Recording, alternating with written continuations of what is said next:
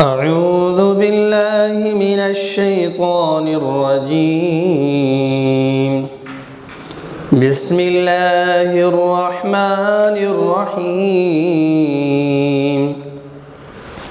إنا أنزلنا التوراة فيها هدى ونور يحكم بها النبيون الذين أسلموا للذين هادوا والربانيون والأحبار بما استحفظوا من كتاب الله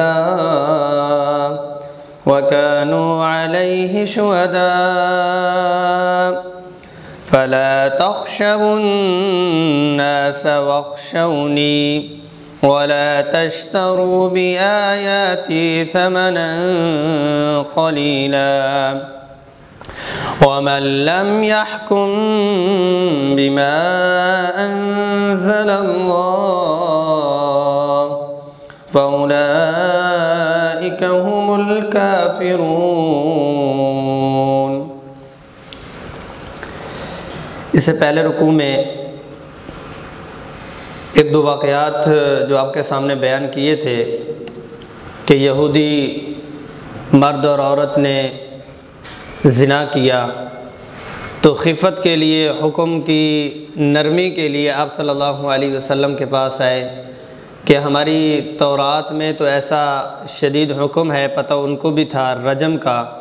تو لہٰذا یہ ہے کہ ہمیں کوئی اور سہولت والا حکم مل جائے۔ اور ساتھ میں یہ ہے کہ انہوں نے رجم کا حکم جو تھا، وہ انہوں نے تبدیل کر دیا تھا۔ رجم کی بجائے وہ لوگ منہ کالا کر کے گدے پہ بٹھا کے، چند کوڑے مار کے، وہ گھما پھرا کے اس کو معاف کر دیا کرتے تھے۔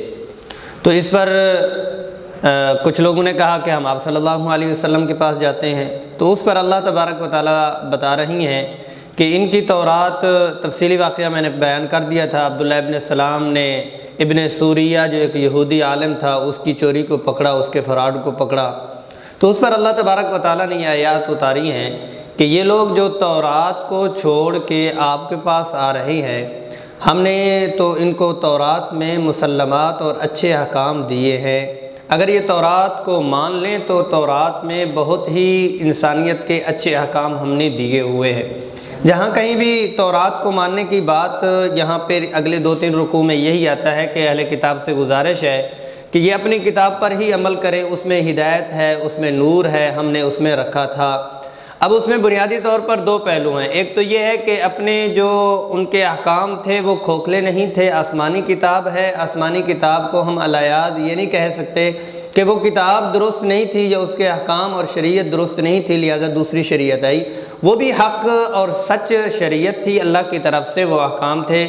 لیکن اب یہ ہے کہ احکام کتاب اللہ کے مانے جائیں گے۔ دوسری بات یہ ہے کہ جیسے آپ لوگ اپنی کتاب کو مانو، جیسے اس میں رجم کے اور زنا کے اور وہ والے احکام مکمل آئے ہیں، انہی احکام میں سے جب آپ کتاب کا ایک جز مانو گے تو کتاب کا دوسرا جز بھی آپ کو ماننا پڑے گا، جس میں سراحت کے ساتھ کئی جگہ پر عقید و جہاں صلی اللہ علیہ وسلم کی نبوت کا تذکرہ چلا، تو جہاں آپ جزوی طور پر وہ احکام مانو گے، تو وہاں کلی طور پر رسول اللہ صلی اللہ علیہ وسلم کی بات کو بھی مانو گے۔